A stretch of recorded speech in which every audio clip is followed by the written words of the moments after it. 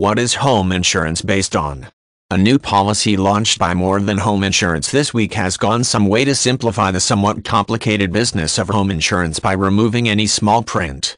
The move was made based on customer feedback which revealed that customers were unhappy about limits exclusions and ons and clauses which were hard to understand and were included in the small print of many policies.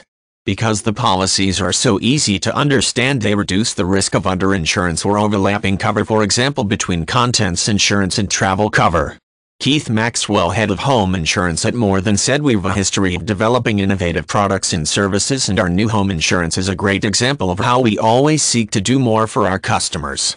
With it we have sought to simplify cover and reassure customers by helping them better understand their protection more than believe that with their new approach to home insurance they will shake up the home insurance market and will hopefully go some way to draw cash-strapped consumers back into the insurance market.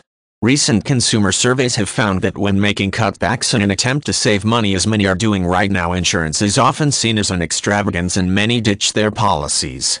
Others cut back to the bare minimum reasoning that they have not had to make any substantial claims in the past and that insurance is essentially a waste of money. However this is a very dangerous view as during a recession crime rises and we are more likely to make claims on our home insurance as a result.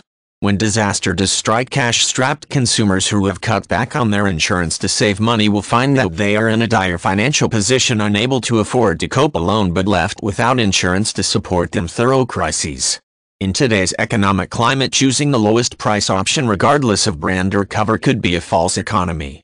By recommending cover from a secure and trusted brand advisors can give customers confidence that their home is sufficiently protected should the worst happen.